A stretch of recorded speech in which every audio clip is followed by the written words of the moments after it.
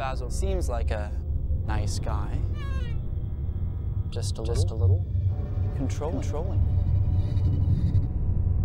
Wouldn't be the worst thing if we left. I'm not sure that's a good idea. But you will never be able to fully commit to our organization if you've got someone weighing you down.